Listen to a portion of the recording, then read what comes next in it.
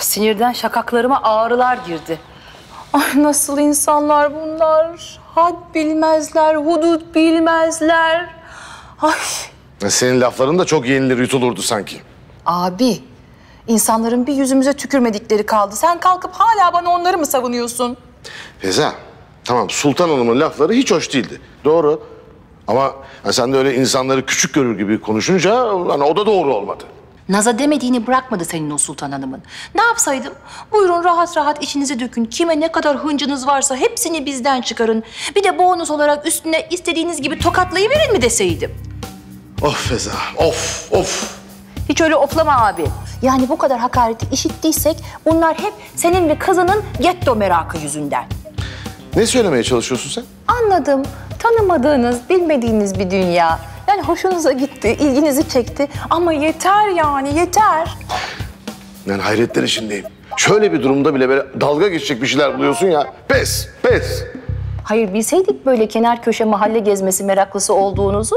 ...yani tutardık bir rehber, size İstanbul'un öteki yüzünü gezdirirdi, olur biterdi.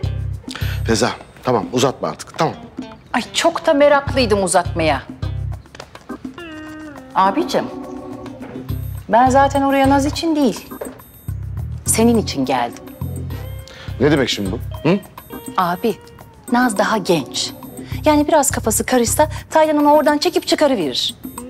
Ama kusura bakma, benim seni bu Sultan Hanım konusunda bir an önce zapturapt altına almam lazım. Feza ileri gidiyorsun. Abi, görmüyor muyum, anlamıyor muyum sanıyorsun? Yani her iki lafından bir tanesi Sultan Ayol.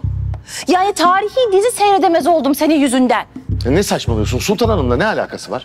Abicim, geçen gün beni tekstil atölyesinden aradılar. Yeni koleksiyon için. Bil bakalım katalogdaki yeni ürünlerimizden bir tanesinin adı neymiş? Sultan. Yahu kadın amip çoğalmayla hayatımızın her yerine sızmaya başladı. Ya Feza Osmanlı koleksiyonu çıkarıyoruz. Ne yapsaydım adını Lady Macbeth mi koysaydım? Koysaydın. Sultan koymada ne koyarsan koy ya.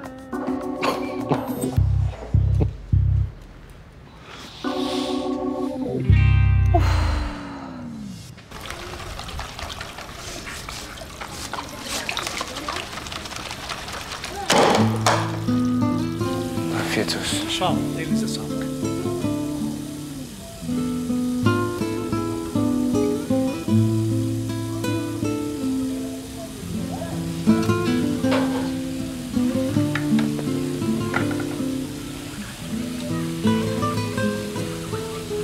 Sevi. Sen niye üzüyorsun ki kendini bu kadar? Ha? Gerçeği senden saklayan o değil mi sonuçta? Bak, bizim dünyamızda yok zaten böyle alengirli şeyler, oyunlar falan. Bunlar hep onların dünyasına ait olan şeyler. Kandırdı beni. Bildiğin oyuncak gibi. Oynadı benimle haberim olmadı.